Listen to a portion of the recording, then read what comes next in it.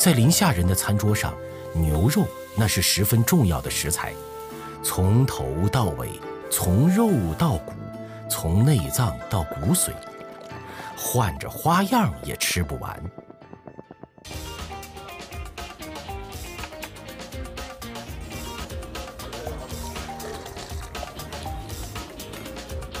这闻着味儿挺香的，这是什么呀？这是我们宁夏的牛杂哥。牛杂哥。对啊，大哥，我们来两碗啊。大哥，你这生意怎么样？这边生意也挺好的，一天能卖多少碗？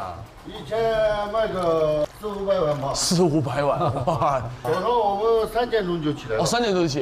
行，这小曹，哎，是好，牛杂割咱们找个地方，了。这地儿就行，这地儿就行。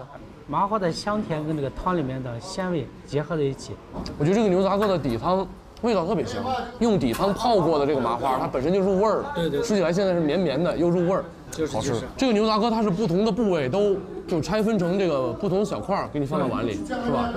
杂就是牛杂嘛，嗯，割就是每每一个用刀割呀哎，啊对，薄薄的割一点。这个是哪块肉啊？牛头肉牛脸儿啊，牛脸，牛脸儿啊，能看得出来，它这个下边这块是它这个这个胶原蛋白。对，胶原蛋白。哎，这尝一口啊！哇，您别说，还真没有这种特别腻的感觉。那这个牛头的这个肉啊，既然这么好，还有什么其他做法吗？牛头还？挺多的，下午我给你带过去尝一下。牛杂哥是临夏人的硬核早餐。